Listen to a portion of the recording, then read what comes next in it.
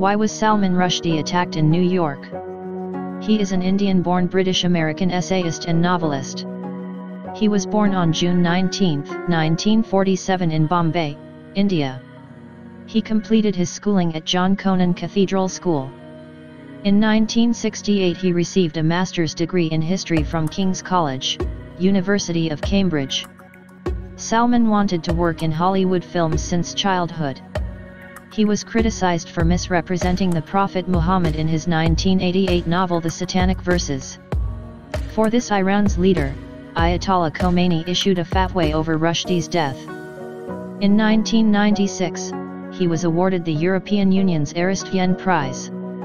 He was voted Writer of the Year in both Great Britain and Germany in 1996. He received the Golden Feather Award in the year 2010. Please say us what is your opinion about this person?